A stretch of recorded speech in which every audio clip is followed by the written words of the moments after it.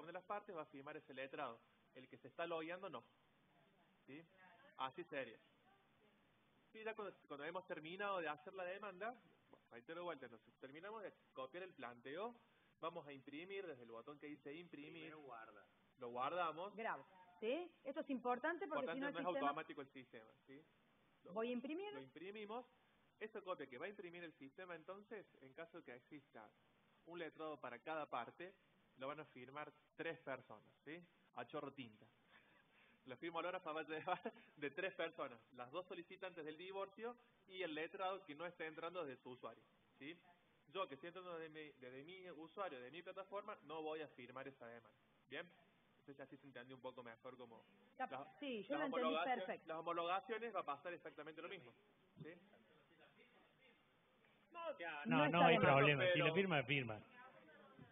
Pero tratemos de que no, porque la idea de usar la plataforma es Claro, porque después, cuando, eh, ¿saben cuál es el problema? Si nosotros los acostumbramos a los tribunales a eso, cuando querramos cuando querramos eh, presentar un escrito de mero trámite, tampoco vamos a poderlo hacer directamente porque nos van a pedir que lo imprimamos, que lo firmemos y que lo subamos, cosa que no debería ser porque se debe inici- eh, se debe cargar directamente sin tener que subir un escrito en PDF. Porque si yo es un escrito de mero trámite o soy apoderado, no hace falta que imprime y que nadie firme. Porque soy yo el que lo está presentando. Entonces no hace falta imprimir ese escrito. O el cobro de honorario propio. Bueno, yo tuve... Bueno, no es... No, bueno, en fueron. 27 no, por ejemplo. Me- yo inicié un cobro de honorario propio, no, no me hicieron problema con la firma. A propósito, no firmé nada, no, no tuve que imprimir nada. ¿Ah? En décima también me pasó, inicié un cobro honorario y me pusieron presentación forma y era por falta de firma ológrafa. Bueno, artículo 11 del reglamento, me dijeron que tenían que firmar las copias también, artículo.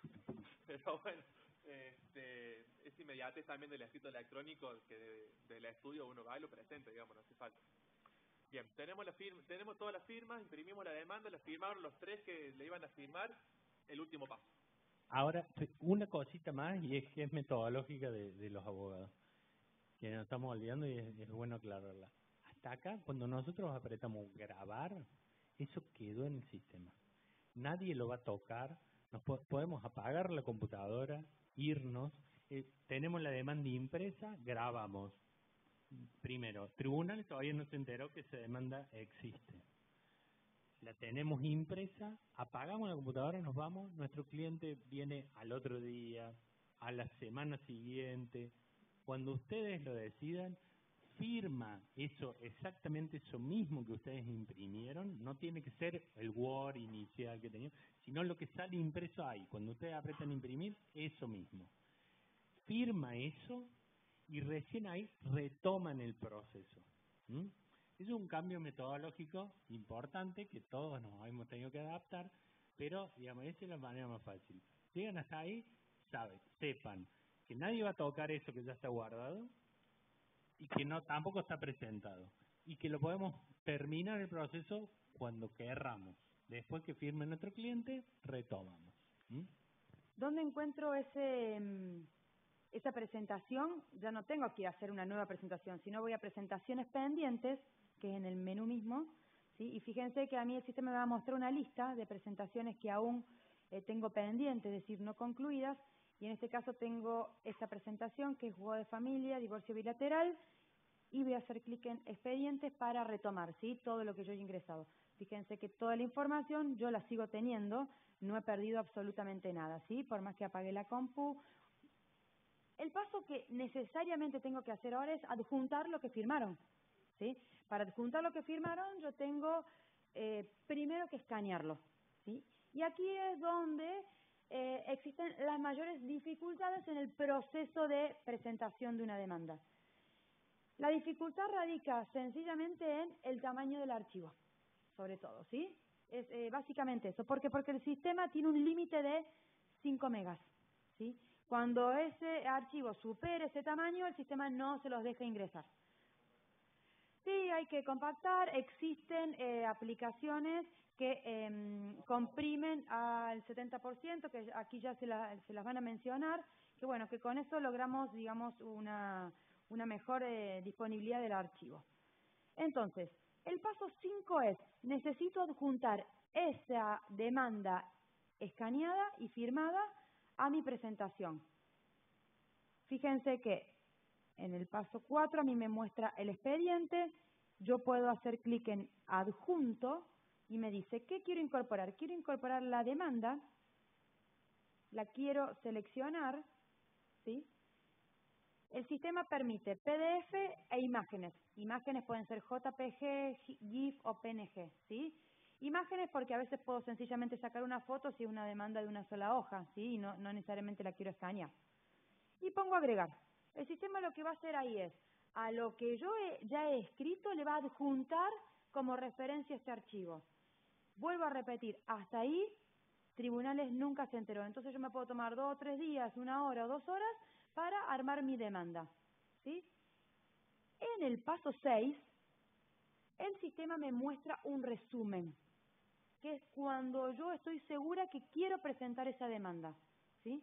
El sistema me dice dónde cargué qué litigo, cuál es el fuero, la categoría del juicio, quién es el abogado que está presentando esta demanda, independientemente de lo que yo puse como copatrocinante, la cantidad de expedientes que estoy presentando, porque esto también está diseñado para que para aquellos eh, fueros donde se permitan presentaciones múltiples como fiscales y cobros particulares.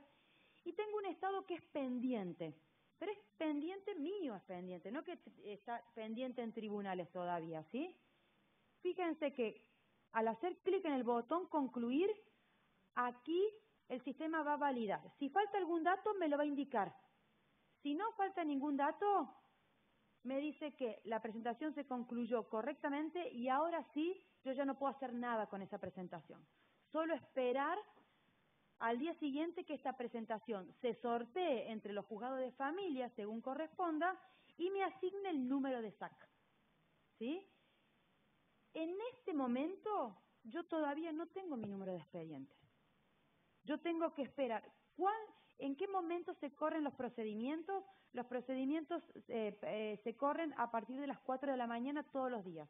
Entonces, yo hice una presentación a las 3 de la mañana, solo tengo que esperar una hora. Hice una presentación a las 5 de la tarde, tengo que esperar hasta las 4 de la mañana que me asigne juzgado y número de SAC. ¿Está claro? Es importante que sepamos que al poner concluir ya no puedo hacer más nada. Fíjense que el estado cambió, ¿sí? Y luego ya no la voy a encontrar a esta presentación en presentaciones pendientes, sino la voy a encontrar en presentaciones concluidas. ¿Sí? ¿Qué veo en presentaciones concluidas? La fecha de conclusión, el estado y el comprobante. ¿Por qué es importante este comprobante? Porque fíjense que tiene una fecha y hora de concluida. ¿sí? Esa fecha y hora de concluida es la que a mí me va a marcar el cálculo de la fecha del cargo. ¿Por qué? Ustedes tienen la aplicación habilitada las 24 horas. Es decir, nadie le va a impedir presentar una demanda a las 8 de la, de la noche. Lo que va a suceder es que el sistema va a tener en cuenta este horario y lo que va a hacer es, le va a asignar la fecha que corresponda. Es decir, a esta presentación, a este expediente, le van a asignar el 18 del 12 a las 8 horas. ¿Sí? Lo mismo va a suceder con los escritos. ¿Está bien? Para las ferias, si uno quiere el primero de enero ponerse a cargar demandas, las cargan. El sistema lo que va a hacer es asignar el primero de febrero si el primero de febrero es un día hábil. ¿Sí? ¿Sí? ¿Querías hacer una aclaración? Ah. Claro, exactamente. Sí, ahora lo vamos a aclarar con el reglamento de ese tema. Bueno. Doctor. Ya. Mm, no, hay tres, ahí no sé si lo más, hay tres tipos de archivos que se pueden cargar. Demanda, documental y otros.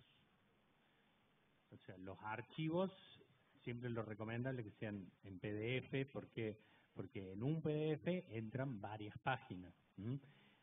5 megas pueden llegar a ser 20, 25 páginas o más si está comprimido el archivo, ya vamos a ver cómo son los métodos de compresión. Entonces, eh, si, por ejemplo, tenemos una documental que son, eh, no sé, para decir, cinco, cinco cheques distintos. Entonces, en un, en un, hacemos un PDF que puede ser en capaz en dos páginas, pero es un solo archivo PDF. Y eso va a entrar como documental. La demanda, el PDF de demanda va a entrar, lo ponemos como demanda y después como documental y después tenemos otros que puede ser, por ejemplo, si no nos alcanzó o para algún o, el poder, por ejemplo, en el caso que tenemos un poder, lo ponemos en, en ese archivo otros. las partidas, libretas de familia, todo eso lo escaneamos de una sola vez y lo juntamos en, en documental. De todas formas, si algo le faltó de acompañar, este, después con un escrito electrónico, mientras tanto puede el expediente siga de despacho, esa es una de las ventajas que tenemos ahora, que se pueden seguir presentando cosas por más que el expediente siga está a despacho. Con su estado a despacho nosotros podemos agregarle documental, por ejemplo, que nos faltó. Eran cuatro partidas y, adjunté tres. Bueno, espero que me asignen el número de SAC. ¿sí? Yo una vez que tenga ese número de SAC, voy a ir con un escrito electrónico, voy a fijarme por el título, el que se condice con lo que yo estoy queriendo hacer, que sería un escrito de agrega, y voy a, les voy a explicar cómo es la presentación de escrito electrónico, pero lo vamos adelantando, y ahí agrego la cuarta partida que me estaba faltando de agregar al momento de iniciar la demanda. Todo eso lo puedo hacer mientras tanto el expediente está de despacho. ¿Bien? ¿Qué será, Doc?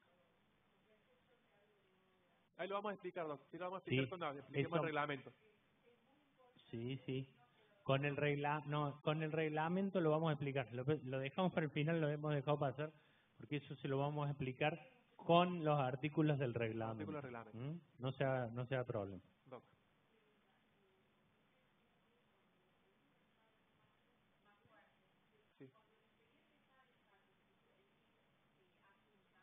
Sí. Sí. sí.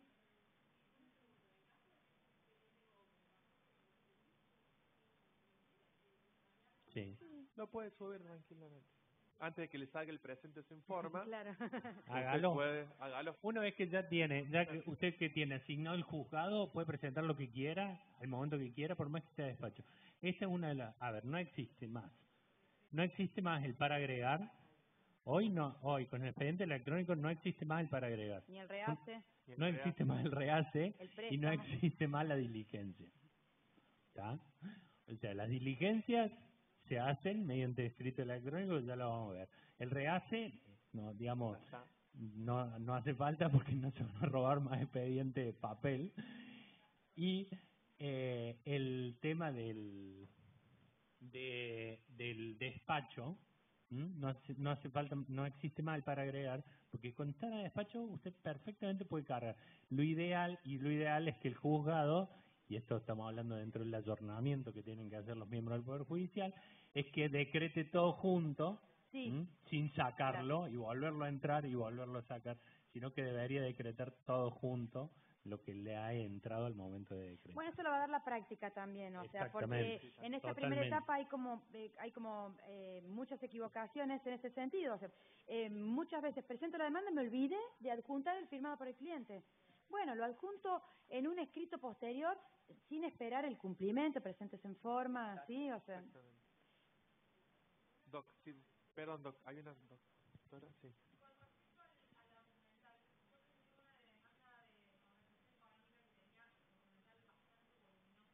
Bien.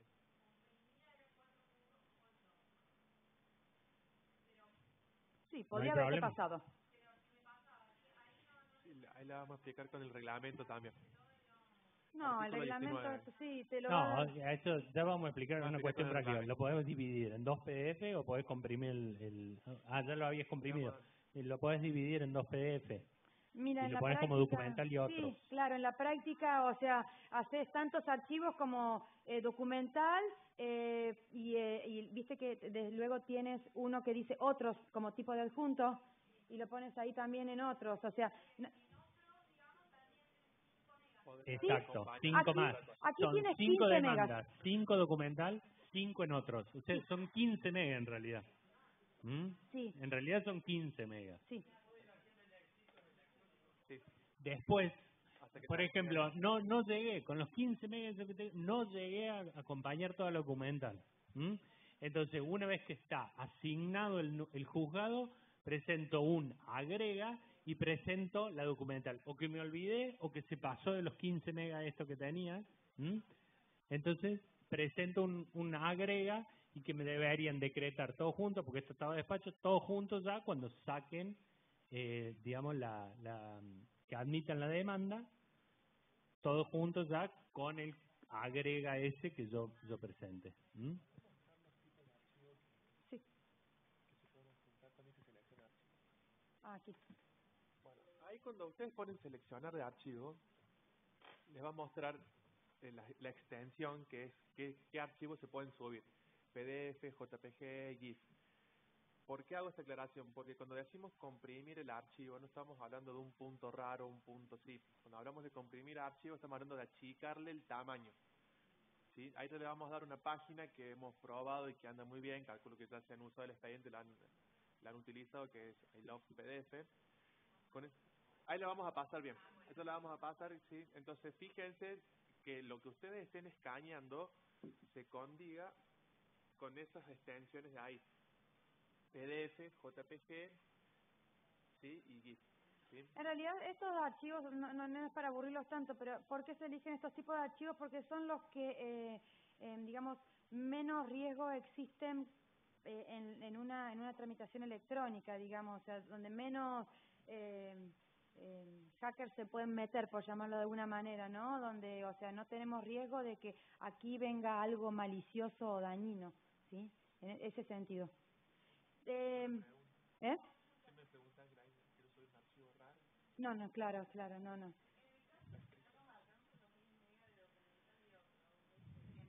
Sí, sí, sí, absolutamente, sí, sí, sí, sí, sí, sí. En realidad, eh, sí, Sí. no, no, nadie no ha admitido la demanda porque en vez de en el tipo de demanda carga eh, la documental, nadie. Sí, no, no, no, no. Al, al juzgado le llega, ellos ven el, el, el en el SAC, ven el expediente, ven eh, demanda, ven el texto y ven todos los adjuntos, o sea que no, no, no, no no hay inconveniente en ese sentido, ¿sí? Lo que estamos viendo es si podemos agregar más tipos de archivos, ¿sí? Como para que ustedes tengan más capacidad. No aumentar el tamaño, pero sí más cantidad de archivos, ¿sí? Eh, que no exista tanto límite en la cantidad de archivos. Pero ¿cómo se fue subsanando el tamaño en este sentido? No me alcanzó la demanda, presento posterior los escritos, ¿sí? Eso fue una de las formas de... Bien. ¿Estamos bien con presentación de demanda? ¿Bien? Ok. Va. Esto sirve solamente para presentaciones de demanda. ¿Por qué? Hago esta aclaración. Todo lo que vayamos a hacer una vez que tengamos el número de SAC, lo vamos a hacer mediante escritos electrónicos, que es el segundo paso que nos va a explicar Lorena ahora. Así que yo le di a concluir a la demanda y acá ya no voy a usar más. ¿sí? Voy a entrar al SAC y voy a usar los escritos electrónicos para cumplimentar, para agregar o para presentar todo aquello que haga falta en la demanda que yo inicié por la plataforma. O sea, me voy a la pantalla roja. Ya me olvido de la pantalla azul. Digamos. Termino de presentar la demanda, no, no, ya está. Cualquier cosa que tenga que subsanar, completar, no presento otra demanda más, digamos. No, directamente ya está. Ahora me voy al SAC común y corriente que todos usamos siempre a la pestaña de escritos electrónicos. Desde ahí subsanamos todo lo que querramos de esa demanda. Tampoco se pide ninguna autorización ni nada para que les aparezca esta nueva funcionalidad, ¿sí? Ustedes ya tienen la nueva funcionalidad que se denomina escritos electrónicos. Premisas. Para poder presentar un escrito electrónico, yo necesariamente tengo que tener el número de expediente, ¿sí? No puedo presentar escritos si no conozco el número de expediente. Sí puedo presentar escritos si no soy parte de un expediente. Por ejemplo, podría presentar un escrito pidiendo la participación o para contestar la demanda. ¿Sí? Cuando a mí me llega la cédula con la demanda, me llega el número de expediente, entonces yo hasta ese momento no soy parte.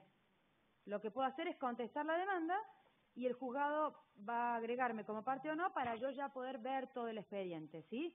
Distinto es ver el expediente a presentar escritos. Para ver los expedientes sigue como hasta ahora, solo las partes. Pero para eh, agregar escritos electrónicos, yo puedo agregar escritos en expedientes en donde no soy parte. Agregar escritos es bastante más sencillo. Primero el sistema me dice qué tipo de escrito quiero agregar, ¿sí? Puedo eh, seleccionar o puedo escribir, por ejemplo, una agrega, ¿sí? El sistema me provee un texto, que yo perfectamente lo que puedo hacer es eliminarlo y pegar otra cosa, ¿sí? Y hago paso siguiente. En este paso siguiente, el sistema lo que me va a pedir es el número de expediente al cual deseo incorporar un escrito. ¿Sí? Voy a ver, me traje uno de machete, pero... Eh, me traje uno, me traje uno, prometo que... Acá. Eh, 89, 56, 336. Hago clic en buscar, el sistema me va a mostrar que es esta, esta asesoría y me muestra aquí abajo, ¿sí? Yo pudiera agregar, en este caso no tiene mucho sentido, pero puedo agregar un mismo escrito a muchos expedientes, ¿sí? Paso siguiente, el sistema lo que me va a indicar es, si quiero adjuntarle, en este caso, alguna información extra. Por ejemplo, recién me faltó incorporar documental, hago lo mismo que antes. Voy, busco, selecciono, guardo. ¿sí? Hasta ahí, tribunales tampoco se enteró que yo estoy agregando un escrito. ¿sí? Por eso el sistema me dice, ¿se ve, no? Sí. ¿Qué quiere? ¿Presentar o continuar sin presentar? Continuar sin presentar es para ver si lo reviso, si, eh, si alguien lo tiene que, que, que visualizar antes que yo lo presente, o presentar directamente cuando hago clic acá, automáticamente ahí sí queda incorporado ese escrito al expediente, ¿sí? y va a depender de la hora y la fecha en que yo lo haga, también la fecha del cargo. ¿Está claro? Que ahora después ellos van a explicar con el, el reglamento en sí. Y hemos incorporado una nueva funcionalidad que es firmar digitalmente, que en realidad eh, viene a atender, eh, digamos, eh, mm, necesidades, sobre todo del colegio de abogados, que querían firmar digitalmente los escritos. Tribunales no lo exige. Tribunales, con la, el usuario y la contraseña de ustedes, da por válido cualquier acto procesal. Pero si ustedes poseen un certificado de firma digital, a este escrito que están presentando, antes de presentarlo, lo pueden firmar digitalmente. ¿Sí? Sí. ¿Y es de mero trámite ahora, de quién? ¿Del cliente? Ahora, ahora te, te hago las aclaraciones. Vamos a hacer un, un par de, de, aclaraciones de ese punto. No, no hay que ahora, ahora les... imprimirlo, firmarlo, adjuntarlo aquí. Exacto. ¿Sí? Y luego presentarlo. Ahora vamos a hacer esas aclaraciones. Aclaración número uno, cuando ustedes apretan el clip ahí y buscan lo que quieren adjuntar, lo adjuntan y después, muy importante, tienen que apretar el disquete celeste de allá. O sea, es primero lo buscan de acá y Había queda celeste. adjuntado y para cargarlo apretan el disquete celeste de, allá de la punta, porque si no no va a car no se va a cargar ese adjunto y no eh, van a presentar el escrito solo sin el adjunto y los van a emplazar evidentemente. ¿Mm? Entonces, muy importante los dos pasos, el clip y el disquete de allá. Segunda aclaración de esto. El firme digital es distinto conceptual, absolutamente distinto conceptualmente de lo que es la firma electrónica. ¿Mm? Es otra cosa, entonces, acá me juego a decir que ninguno tenemos firma digital de los que estamos acá. Entonces, usted sí, doctora, perfecto. Es un trámite que lo pueden hacer en el segundo piso del colegio. ¿Mm? Bueno, pero se puede, se puede hacer. Pero no es algo, primero no es obligatorio por ahora, en algún momento lo será, es recomendable hacerlo. Y si ustedes apretan esto, les va a generar un archivo que hay que firmarlo digitalmente para recién después presentarlo. Entonces, y les va y si ustedes no tienen firma digital, va a quedar ahí pendiente, bollando algo que no se va a presentar. Entonces, recomendación por ahora y hasta que no tengan firma digital, olvídense de este botón.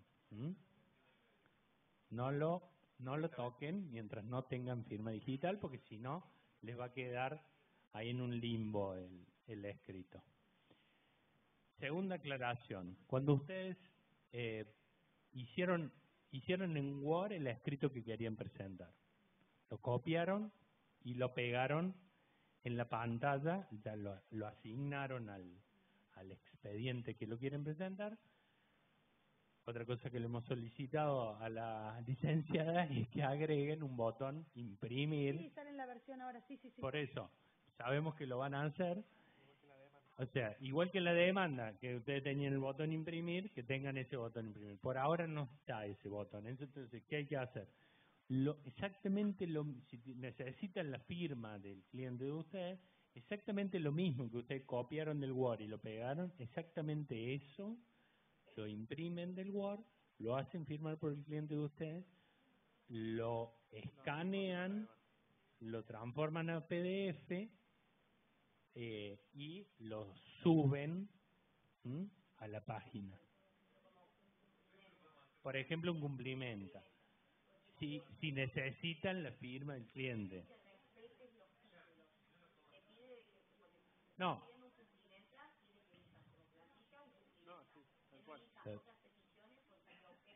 No, parece que no, en realidad no aparece. Yo puedo, yo a mi escrito le puedo poner el título que quiera, más allá de la plantilla.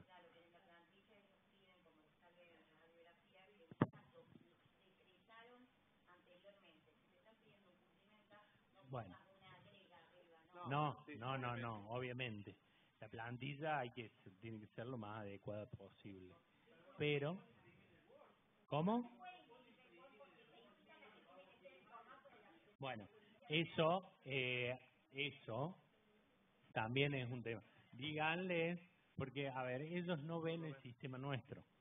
Entonces no saben que nosotros no estamos teniendo ese botón de imprimir. Es imposible que nosotros imprimamos lo mismo que, que está, eh, que hemos pegado ahí. Por eso les digo, traten de que sea exactamente lo mismo que ustedes copiaron de Word y pegaron, que eso impriman, sin ni una coma de más ni de menos, porque si está pasando, nos intiman, nos dicen, no, que tiene que ser, no, en el mismo formato imposible, porque yo no lo puedo imprimir de la página. Lo tengo que imprimir del Word porque a mí esto no me lo deja imprimir. Eso estamos tratando de... Eh, digamos, de decírselos a los miembros del Sí, pero creo que mañana hay una instalación de una nueva versión, sale el botón imprimir. De todas formas, sí. Ya, ya sale, en la nueva versión sale el botón imprimir, eso fue una de las primeras cosas que se notó y que solicitamos. Así que...